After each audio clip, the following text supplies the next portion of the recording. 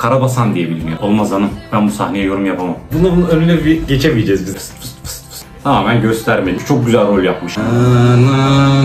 Bizim en büyük eksiğimiz bu bence. Historisinde yazıyor. E, Gece lambası modunda çalışıyor. Hele bir de düz çizgi gördün mü? Herkese merhaba. Bu hafta Kızıl Goncalar'ın sağlık sahnelerini yorumlayacağız. Hoş geldin Samet. Hoş bulduk Betül. Hazır mısın? İlk bölüme başlıyorum. Hazırım hocam. Gönder gelsin. Gel.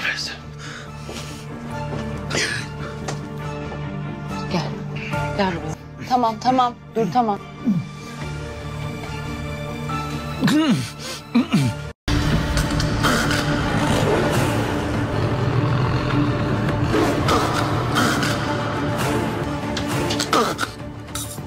Anne nefes alamıyor dede. Bilmiyorum. Bilmiyorum ki. Dede oksijensiz kaldı. Dayının gelini doktor. Evden alelacele kaçarken oksijen ihtiyacı oldu. Dayı hemen yetişti. Oksijeni bağladı ama atladığı bir şey var. Tüp boş. Tüp boş. Dolayısıyla dayı oksijensiz kaldı. Şimdi birazdan oksijen satürasyonu düşmeye başlayacak. Durum daha da kötüye gidecek. Mavi tüpten nefes alıyor. Dur bey amca dur. Ha istemiyor bunu istemiyor. Ya anne bitmiş ne yapacağız? Anne buldum.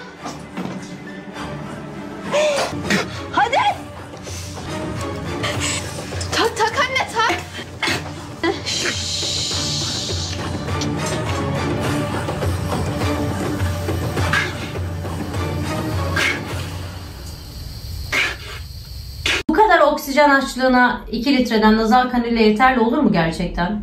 Ama eldeki imkanlar bu kadarsa yapacak da çok bir şey yok galiba. Ya yok mecbur ev ortamı burası. Hiç bilmeyen iki tane insan girdi odaya.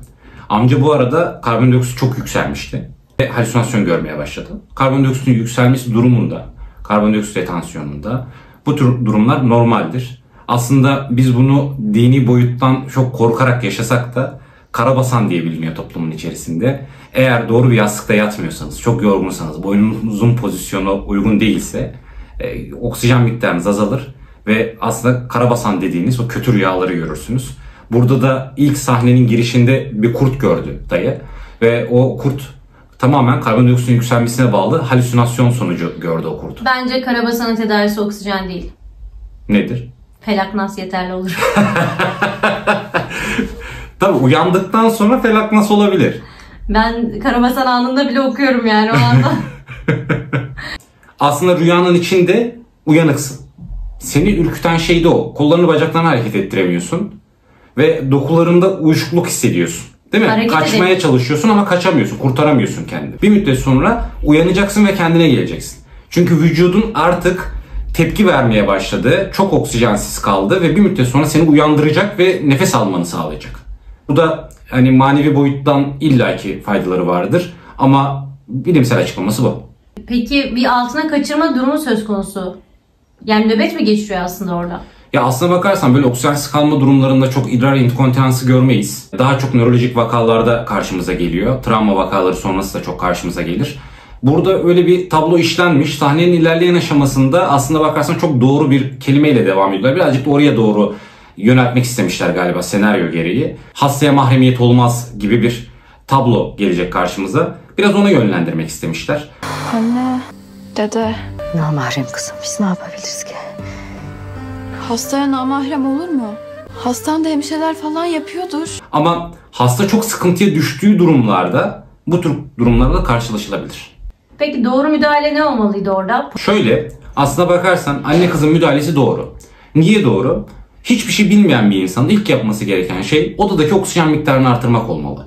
Bu adam için o, o odadaki oksijen miktarı yeterli mi? Tabii ki değil. Ama bir nebze olsun onu rahatlatacaktır. Ardından hemen bir oksijen tüpü buldular. E, nazal kanül vardı ellerinde. Tamamen ezbere, hiçbir fikri olmadan oksijen ihtiyacı olduğunu düşünüp tüpe bağladı ve tüpü açtı. Yani sahnede anne kız bir hayat kurtardı diyebiliriz. Burada fark ettiysen çok böyle tepeleme açıp oksijen vermedi. Böyle gene 2-4 litre arasında bir yerde tuttu verdi. Evet. Muhtemelen birisi öncesinde demiş ki fazla açma yani. Fazla açarsa ne yapar? Mukozayı kurutur. Hastaya da fazla oksijen vermiş olursun. Nazal kanülle de fazla oksijen iç mukozayı kurutacağı için çatlaklara ve kanamalara sebebiyet verebilir. Bir ikincisi Hastaya nazal kanülden fazla oksijen verdiğimizde burundan nefes alamayacağı için basınçtan dolayı ağızdan nefes almaya teşvik ederiz hastayı. Dolayısıyla yarar sağlamaya çalışırken zarar sağlamış oluruz. Hastanın oksijenini yükseltmeye çalışırken yine karbondioksitini yükseltmiş oluruz. O yüzden 2-4 litre aralığında oksijen vermemiz gerekir. E, 4 litrenin üzerine oksijen vermek istiyorum ben. O zaman farklı bir maske türüne geçmemiz lazım. Yani e, adı üstünde maskeye geçmemiz gerekiyor. Nazal kanülden ayırmamız lazım hastayı.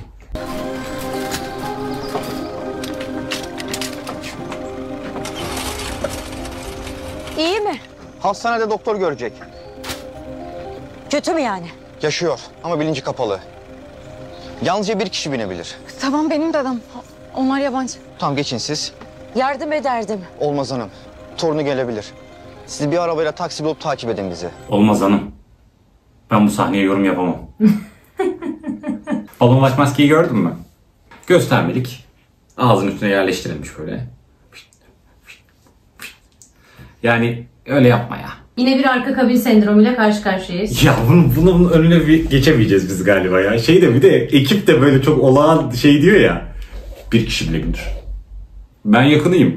Siz geçebilirsiniz. Ya arkadaşlar bakın ambulansın arkasında seyahat etmek hoş bir şey değil. Yani buraya da hasta yakını bindirmiyoruz. Ee, Bunu da artık söyleye söyleye söyleye bir şekilde düzelteceğiz diye düşünüyorum. Peki torununu alması doğru mu? Ya tabii ki birinci derece yakını. Ben de olsam birinci derece yakınını alırdım. Ama ön tarafa almalıydı.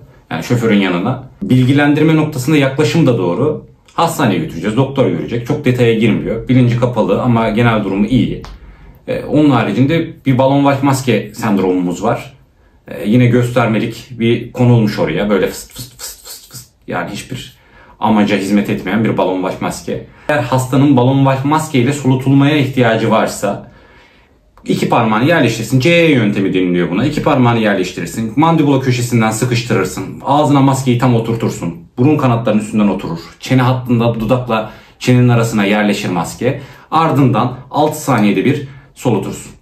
Tabii ki balon vahi maskenin de oksijene bağlı olması gerekir. O hastanın oksijen ihtiyacı varsa eğer. Airway gerekir mi? Yani bilinci kapalı hasta, bilincinin kapalı olması demek hava yolu açıklığını kendisi kontrol edemiyor demek. Hava yolu açıklığını kendisi kontrol edemeyen hastanın dili hava yolunu kapatır. Dilini geçtim, sekresyon, mide içeriği, hava yolunu kapatabilecek diğer etmenler. Eğir ve buradaki hava yolu açıklığını sağlayacağı için bu tür hastalarda çok önemli. Yani airway'siz aslında çok da anlamlı değil. De değil tabii ki. Şimdi hastanın çene kasması vardır. O zaman nazofarengeal airway takmak lazım. Yine airway takmak lazım ama nazofarengeal airway takmak lazım.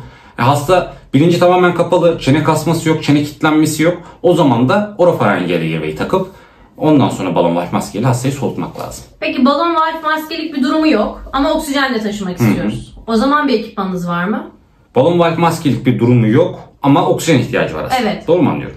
O zaman da işte basit yüz maskesiyle taşınabilir. Hastanın genel durumuna göre değişen tabloyla beraber işte nazal kanül tercih edilebilir, ba- basit yüz maskesi tercih edilebilir, e, rezervuarlı maske te- tercih edilebilir. Hastanın yoğun konsantrasyonlu oksijen ihtiyacı vardır örneğin. O zaman rezervuarlı oksijen maskesi kullanırsınız. Daha az oksijene ihtiyacı vardır. Nazal kanüllü oksijen kullanırsınız. Hastanın nebülle bir ilaç almasına ihtiyacı vardır. Nebulizatörlü maske kullanırsınız. Yani bir sürü maske çeşidi var. İlla balon valf maske ile hastayı solutma gibi durumumuz yok ama hasta kendisi nefes alıp veriyorsa, tablosu buna izin veriyorsa o zaman normal maskeler kullanılabilir tabii ki. Oksijen kaynağını nasıl hallediyorsunuz? Ambulansın içinde entegre devreler var. Sabit iki tane oksijen tüpü vardır zaten. Ee, merkezi oksijeni oradan alırız. Onun haricinde hastanın evinden ambulansa, ambulanstan hastaneye kadar o aralardaki transport kısımlarında portatif oksijen tüpü kullanılır. Ambulans geldi.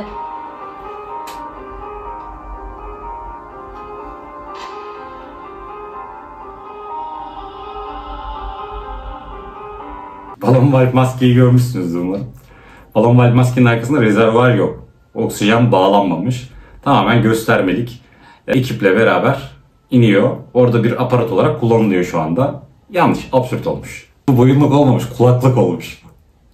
Yani bakın bir aparat ne kadar kötü kullanılabilir ya da yanlış kullanılabilir yarışmasına girmiş diziler. En kötüsü burada. Yani bakın bunu yan takanı gördüm, yanlış takanı gördüm, çene hattını açmayanı gördüm. O kulakları böyle sıkıştıranı gördüm ama kulaklık olarak kullanan da burada ilk defa görüyorum.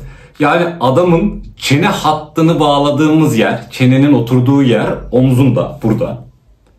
Burada bu trakeal hattı görmek için boşlukta bıraktığımız yerde kulağının alt tarafını gösteriyor. Tamam işte kulak kanaması var mı diye kontrol edecekler. Yani herhalde onun için kullanıyorlar. Bilmiyorum ki yani. Buna, buna hiçbir şey denilemez. Ya adama yazık ya. Az önceki sahnede dedim ki çok güzel rol yapmış. Gerçekten o oksijen yetmezliğini harika yansıtmış dediğim adama yapılır mı ya bu dayıma böyle bir şey? Yani bak balon white maske falso. Boyunluk falso. Hasta yakını falso. Sahnenin başından sonuna elle tutulur hiçbir yeri yok. Bir de şey böyle arkadan hüzünlü bir müzik. Bize de koy öyle hüzünlü müzik. Na, na, na, na, na, na. Bizim için şey olsun yani böyle konulup da hatalar kabul edilebiliyorsa koy yani. Oyuncunun nefes almasını engeller yani. Adamı öldürürler ya. Bekleyin. Buradan sonra gelemezsiniz. Doktor bilgi verecek. Fark ettin mi ekip yine koşma halinde. Artık ona alıştık ya. Ya o mavili formalı bir arkadaş var. Bütün ömrünü o an gelsin de ben sedyenin kenarından tutayım bunlarla beraber koşayım diye beklemiş. Dizilerde bir tane görevli oluyor mutlaka. Hemen tek, onun tek görevi şey. Bekleyin. Buradan sonrasına girmek yasak. Gerçek hayatta da öyle olmuyor mu? Hocam yani gerçek hayatta olanı söyleyeyim ben sana. Ben ambulans girişine ambulansın park ediyorum. Sakin sakin içeriye alıyorum hastamı. Aksiyon yok. Koşturmaca. Herhangi bir personel gelip de ya Allah deyip sedyemi koşturtmuyor. İkincisi ben personeli, ilk personeli alanın içine girdiğimde, kırmızı alansa burası, kırmızı alanın içine girdiğimde görüyorum. O zamana kadar da hasta yakını benim yanımda eşlik ediyor. Ve ben hasta yakınına diyorum ki tamam siz burada bekleyin. Birazdan size bilgi verilecek diyor. Ama yanıma bunun için hususi görevlendirilmiş, heyecanla işini yapan bir arkadaş vermiyorlar. Bizim en büyük eksiğimiz bu bence. Sağ olun Hakan Hocam. Babam miastenia gravis hastası.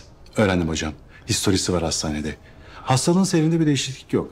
Düşmeye bağlı kafa travması için tetkikler devam ediyor. Bir ara bilinci açılır gibi oldu ama söyledikleri pek tutarlı değildi.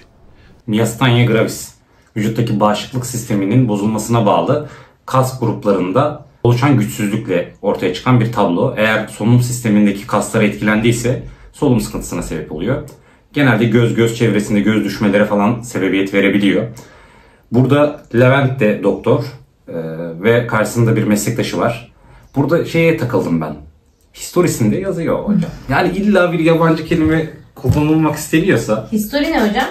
Tarih demek, tarihçe demek history. İngilizce bir kelime. Anemnezi mi yani? Ama işte bizde kullanılan e, terim anemnez olur. Ya da öyküsünde yazıyor. Epikrizinde yazıyor denilebilir. Evet. Hastanın orada bir geçmişi varsa o hastanede bir epikrizi vardır. Epikrizinde yazıyordur. E, burada yani historisinde yazıyor yanlış bir kelime olmuş ya. Eğer bir doktor sahnesi çekiliyorsa, bir doktor meslektaşına hitap ediyorsa hocam epikrizinde bunlar mevcut zaten. Anemnezinde var. Evet anemnezinde yazıyor. Bilgimiz var diyebilir yani. Öyle bir sıkıntı yok. Ben normalde bu diziyi izliyorum. Takip ediyorum diyelim. Şimdi history'dir bilmem nedir odur budur. Bunun gibi böyle afilli kelimeler kullanmak yerine dikkat edilecek çok ufak ayrıntılar var. Miastenia gravis hastası bu dayının oksijen kanülü sürekli burnunda normal şartlarda. Ama sahne gereği sürekli bir geçiş var ve ben hiç oksijen hattına bağlı olduğunu görmedim. Evet birçoğunda ben de gördüm. Burnunda bir kanül var ama oksijen hattı tüpe bağlı değil. Evet odasında monitör var. Dikkat et Aslında ona. evet monitörde veriler var ama Evet. monitör bağlı değil. Monitör sadece şey gece lambası modunda çalışıyor. Evet. Odayı yeterli kadar böyle aydınlatıyor. Düz bir çizgi. İyi ki gelip çakmıyorlar ha. Bir defibrilatör olsa bak o düz çizgiyi çakarlar. Defibrilatör gördüm mü dayanamam. Hiç affetmem. Hele bir de düz çizgi gördün mü? bir de şeye dikkat ettin mi? Genelde filmlerde ya da dizilerdeki doktorlar hep zengin. Niye gerçek hayatta zengin değiller mi? Hocam gözünü seveyim. İstanbul'da yaşıyoruz. Çok doktor arkadaşımız var. Adamların aldığı paralar belli. Yaşam standartları belli. Yani bu büyük koca koca villalarda, lüks arabalarla, lüks hayatlarda yaşamıyorlar maalesef. Yani en azından birçoğu öyle. Yani burada yanlış bir yönlendirme olduğunu düşünüyorum. Çünkü e, aldıkları maaş belli, yaşadıkları standart belli. Ve bu adamlar zaten yoğun insanlar yani. Hani öyle çok lükse düşkün olamıyorlar maalesef. Evet hak ettikleri maaşı almıyorlar bence de. Bence de bütün sağlık sistemi için söyleyebilirim. Verilen emeğin karşılığında alınan para tabii ki yetersiz yani. Keşke dizilerdeki kadar standartlar yüksek olsa diyebiliriz. Ya kesinlikle öyle. O zaman bu haftaki bölümün de sonuna geldik. Haftaya görüşmek üzere. Haftaya görüşmek üzere. Hoşçakalın.